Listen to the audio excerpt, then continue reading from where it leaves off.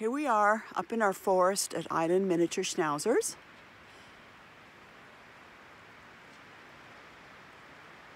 Look at this tree.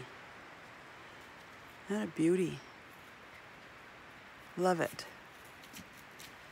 We have number one pack up with us.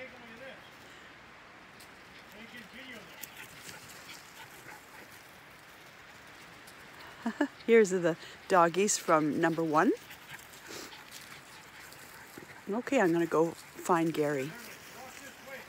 There they go.